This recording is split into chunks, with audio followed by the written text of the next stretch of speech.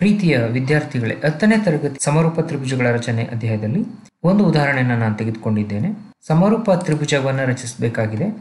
So ಆ ಉದಾಹರಣೆ construct isosceles triangle whose base is eight centimeter and altitude four centimeter and then another triangle whose sides are three by two times the sides of the isosceles triangle justify the construction ಪಾದ ಎಂಟು centimetre ಹಾಗೂ ಎತ್ತರ ನಾಲ್ಕು centimetre ಉಳ್ಳಂತಹ ಸಮದ್ವಿಬಾಹು ತ್ರಿಭುಜವನ್ನು ರಚಿಸಿ ಅದಕ್ಕೆ ಹೊಂದಿಕೊಂಡಂತೆ ಒಂದು ಒಂದು by ಎರಡರಷ್ಟು ಅಳತೆಯುಳ್ಳಂತಹ ಇನ್ನೊಂದು ಸಮರೂಪ ತ್ರಿಭುಜವನ್ನು ರಚಿಸಿ ಅನ್ನೋ ಲೆಕ್ಕವನ್ನು ತೆಗೆದುಕೊಂಡಿದ್ವಿ ಇಲ್ಲಿ ಅನುಪಾತ ಒಂದು ಒಂದು ಬೈ ಎರಡು ಇರೋದ್ರಿಂದ ಅದನ್ನು ಮಿಶ್ರ ಭಿನ್ನ ರಾಶಿಯನ್ನು ನಾವೀಗ ವಿಷಮ ಭಿನ್ನ ರಾಶಿಯಾಗಿ ಬದಲಾಯಿಸ್ಕೊಳ್ಬೇಕು. ನಂತರ ಅದು ತ್ರೀ ಬೈ ಟು ಬರುತ್ತೆ. ಅಂದರೆ ಎರಡು ಇಂಟು ಒಂದು ಪ್ಲಸ್ ಒಂದು ಮೂರಾಯಿತು.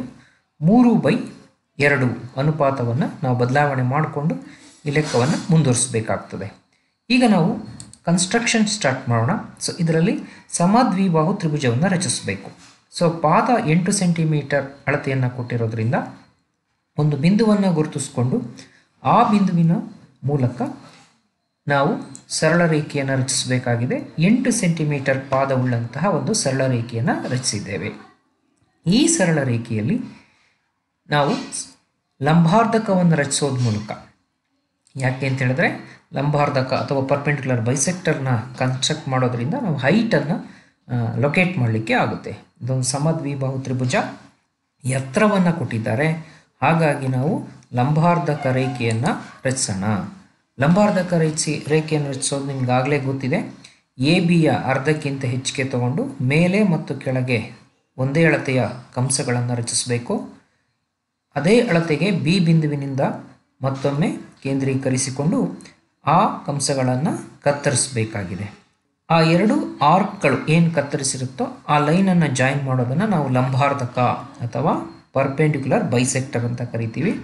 ಅದು ಎ ಬಿಯ ಮಧ್ಯಬಿಂದುವಿನ ಮೂಲಕ ಹಾದು ಹೋಗುತ್ತೆ ನಾವಿಲ್ಲೊಂದು ಸರಳ ರೇಖೆಯನ್ನು ಕೂಡ ರಚಿಸ್ಕೊಳ್ಳೋಣ. ನಮಗೆ ಎತ್ತರ ನಾಲ್ಕು ಸೆಂಟಿಮೀಟರ್ ಕೊಟ್ಟಿದ್ದಾರೆ. ಈ ಸರಳ ರೇಖೆಯಲ್ಲಿ ನಾಲ್ಕು ಸೆಂಟಿಮೀಟರ್ ಅಳತೆಯ ಒಂದು ಕಂಸವನ್ನು ರಚಿಸ್ಕೊಳ್ಬೇಕು. ನಮಗೆ ಈ ಲಂಬಾರ್ಧಕ ಕೇವಲ ಮಧ್ಯ ಬಿಂದುವನ್ನು ಗುರುತಿಸ್ಕೊಳ್ಳಿಕ್ಕೆ ಅಷ್ಟೇ ಹಾಗಾಗಿ ನಮಗೆ ನಾಲ್ಕು ಸೆಂಟಿಮೀಟರ್ ಅಳತೆಯ ಎತ್ತರವನ್ನು ನಾವು ಒಂದು ಕಂಸದ ಸಹಾಯದಿಂದ ಕತ್ತರಿಸಬೇಕಾದ್ರೆ ಈ ಬಿಂದುವಿನ ಅವಶ್ಯಕತೆ ಇರುತ್ತೆ.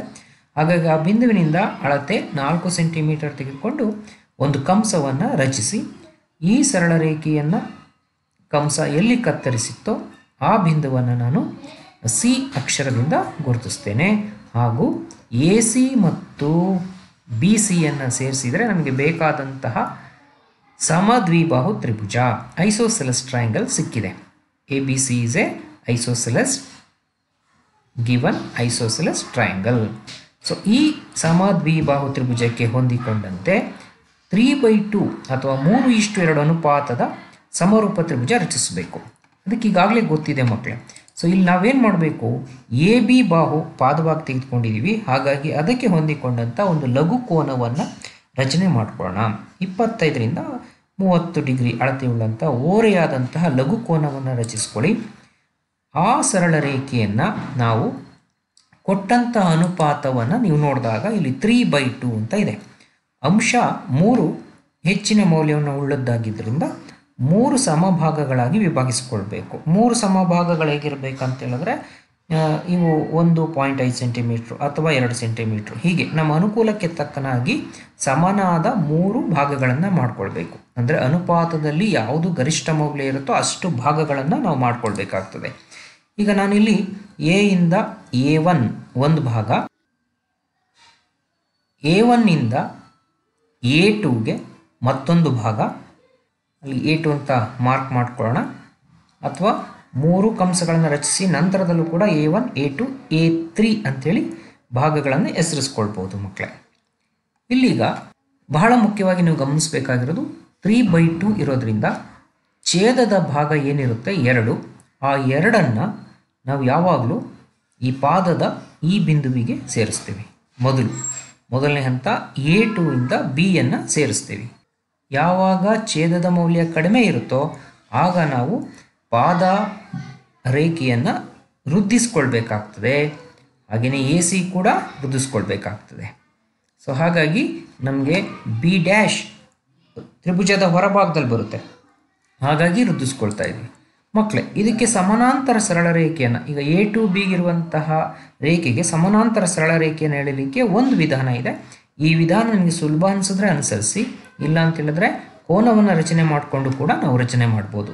ಸೊ ಈ ವಿಧಾನದಲ್ಲಿ ನಾವು ಸೆಟ್ ಸ್ಕ್ವೇರ್ ಅಂತ ಏನಿದೆ ಅದನ್ನು ಹೀಗೆ ಹೊಂದಿಸ್ಕೊಳ್ಬೇಕು. ನಂತರ ಸ್ಕೇಲನ್ನು ಕೂಡ ಇಟ್ಕೊಂಡು ಅದನ್ನು ಜರುಗಿಸೋದ್ರ ಮುಖಾಂತರ ಕೆಳಭಾಗಕ್ಕೆ ಎ ತ್ರೀಗೆ ಸ್ಪರ್ಶಿಸಿದ ನಂತರ ನಾವು ಒಂದು ಸರಳ ರೇಖೆಯನ್ನು ರಚಿಸ್ತೀವಿ. ಇದು ಕೂಡ ಎ ಟು ಬಿಗೆ ಸಮಾನಾಂತರವಾಗಿರುತ್ತೆ. ಇಲ್ಲಿಗೆ ಬಿ ಡ್ಯಾಶ್ ಅಂತ ಹೆಸರು ಕೊಟ್ಕೊಳ್ಬೇಕು. ಹಾಗೆಯೇ ನಾವು ಬಿ ಸಿಗೆ ಸಮಾನಾಂತರ ಸರಳ ರೇಖೆಯನ್ನು ರಚಿಸೋದಕ್ಕೆ ಕೂಡ ಇದೇ ವಿಧಾನವನ್ನು ಅರ್ಸ್, ಅನುಸರಿಸ್ತೇವೆ. ಹೇಗೆ? ನಂತರ ಇಲ್ಲಿ ಗಮನಿಸಿ, ಮತ್ತೆ ಸೆಟ್ ಸ್ಕ್ವೇರ್ ಅಥವಾ ಸ್ಕೇಲ್ ಮತ್ತು ಸೆಟ್ ಸ್ಕ್ವೇರನ್ನು ಬಳಸ್ಕೊಳ್ಳೋಣ. ಈ ರೀತಿಯಾಗಿ ಜೋಡಣೆ ಮಾಡ್ಕೊಂಡು ನಾವೀಗ ಸಿ ಬಿ ಅಥವಾ ಬಿ ಸಿಗೆ ಸಮಾನಾಂತರವಾಗಿ ರಚಿಸಬೇಕಾಗಿರುತ್ತೆ. ಈಗಾಗಲೇ ನಾವು ಎ ತ್ರೀಯಿಂದ ಬಿ ಒನ್ನನ್ನು ಗುರುತಿಸ್ಕೊಂಡಿರ್ತೀವಿ. ಆ ಬಿ ಒನ್ವರೆಗೂ ಈ ಸೆಟ್ ಸ್ಕ್ವೇರನ್ನು ಜರುಗಿಸ್ಬೇಕು. ಅದು ಮುಟ್ಟಿದ ನಂತರ ಇಲ್ಲಿಂದ ಇಲ್ಲಿಗೆ ಸ್ಕೇಲ್ನ ಸಹಾಯದಿಂದ ಒಂದು ಸರಳ ರೇಖೆಯನ್ನು ಹೇಳಿದ್ರೆ ನಮಗೆ ಸಮರೂಪ ತ್ರಿಭುಜಗಳು ಸಿಗುತ್ತೆ. ಇದು ಒಂದು ವಿಧಾನ. ಇನ್ನೊಂದು ವಿಧಾನ ನಾವು ಅನುಸರಿಸೋದು ಅಂತ ಹೇಳಿದ್ರೆ ಈ ಬಾಹುಗಳಿಗೆ ಎ ಟು ಬಿಗೆ ನಾವು ಎ ತ್ರೀಯಿಂದ ಒಂದು ಸಮಾನಾಂತರವಾಗಿ ಎ ಟು ಬಿಗೆ ಸಮಾನಾಂತರವಾಗಿ ಎ ತ್ರೀ ರಚಿಸಬೇಕಾಗಿದೆ. ಅದಕ್ಕೆ ಬೇಕಾದಂತಹ ರಚನಾ ವಿಧಾನ ಅಂತ ಹೇಳಿದ್ರೆ, ಈಗ ಇಲ್ಲಿ ನಮಗೆ A one A two B ಅಥವಾ ಎ ಎ ಟು ಬಿಗೆ ಕೋನ ಎಷ್ಟಿದೆಯೋ ಅಷ್ಟೇ ಕೋನವನ್ನು ಎ ತ್ರೀ ಬಿಂದುವಿನಲ್ಲೂ ಕೂಡ ರಚನೆ ಮಾಡ್ಕೊಳ್ಳಿಕ್ಕೆ ಈ ರೀತಿ ಕಂಸಗಳನ್ನು ರಚಿಸಬೇಕು. ಈ ಕಂಸವು ಈ ಬಿಂದುವಿನಿಂದ ಇಲ್ಲಿ ಎಲ್ಲಿ ಕತ್ತರಿಸಿದೆ ಇಲ್ಲಿ ಗಮನಿಸಬೇಕು. ಈ ಬಿಂದುವಿನಿಂದ ಈ ಎ ಟು ಬಿಗೆ ಕತ್ತರಿಸಿದ ಭಾಗಕ್ಕೆ ಎಷ್ಟು ದೂರ ಇದೆ ಅನ್ನೋದನ್ನು ಒಂದು ಕಂಸವನ್ನು ರಚನ, ರಚನೆ ಮಾಡೋದ್ರ ಮುಖಾಂತರ ಅಳತೆ ತಗೊಳ್ತೀವಿ ಬೈ ಕನ್ಸ್ಟ್ರಕ್ಟಿಂಗ್ ಎನ್ ಆರ್ಕ್ ಈ ಆರ್ಕ್ನಿಂದ ನಾವೀಗ ಎ ಟು ಈ ಬಿಂದುವಿನಿಂದಲೂ ಕೂಡ ಸಮನಾದ ದೂರವನ್ನು ತೆಗೆದುಕೊಳ್ಳೋಣ. ನಂತರದಲ್ಲಿ ಈ ಕತ್ತರಿಸಿದ ಭಾಗದ ಮೂಲಕ ಎ ತ್ರೀಯಿಂದ ಈ ಬಿಂದು ಅಂದರೆ ಎ ಬಿ ವೃದ್ಧಿಸಿದ ಭಾಗ ಸ್ಪರ್ಶಿಸುವಂತೆ ರಚ, ರಚನೆ ಮಾಡಬೇಕು. ನಂತರದಲ್ಲಿ ಇಲ್ಲಿಗೆ ನೇಮ್ ಕೊಡೋಣ ಬಿ ಡ್ಯಾಶ್ ಅಥವಾ ಬಿ ಒನ್ ಅಂತ ನಾವು ಕರೆಯೋಣ.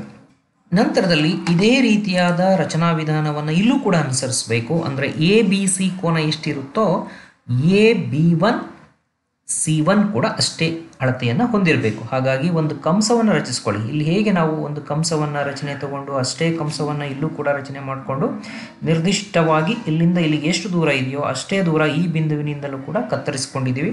ಅದೇ ರೀತಿಯಾದ ವಿಧಾನವನ್ನು ಇಲ್ಲೂ ಕೂಡ ಅನುಸರಿಸಬೇಕು. ಈಗ ನಾವೇನು ಇಲ್ಲಿ ಕಂಸವನ್ನು ತೆಗೆದುಕೊಂಡಿದ್ದೀವಿ?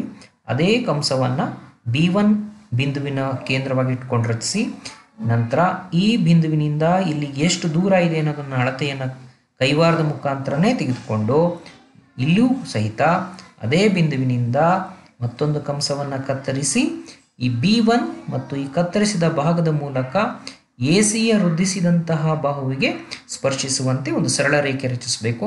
ಆ ಬಿಂದು ಎಲ್ಲಿ ಸ್ಪರ್ಶಿಸಿದೆಯೋ ಅಲ್ಲಿಗೆ ನಾವು ಸಿ ಡ್ಯಾಶ್ ಅಥವಾ ಸಿ ಒನ್ ಅಂತೇಳಿ ಹೆಸರನ್ನು ಕೊಡ್ತೀವಿ. ಸೊ ಈಗ ನಮಗೆ ದೊರೆತಂತಹ ತ್ರಿಭುಜ A, B one, C one ಅನ್ನೋದು ಮೂರರಷ್ಟಿದ್ದರೆ A B C ಎರಡರಷ್ಟಿರುತ್ತೆ. By angle angle similarity criteria triangle A B one C one and triangle A B C are similar hence the corresponding sides are proportional ಅನುಪಾತಗಳು ಸಮಾನುಪಾತದಲ್ಲಿವೆ. The corresponding sides are in the ratio three is to two A B one C one is the required similar triangle ನಾವು ರಚಿಸಬೇಕಾದಂತಹ ತ್ರಿಭುಜ A B one C one ಆಗಿದೆ.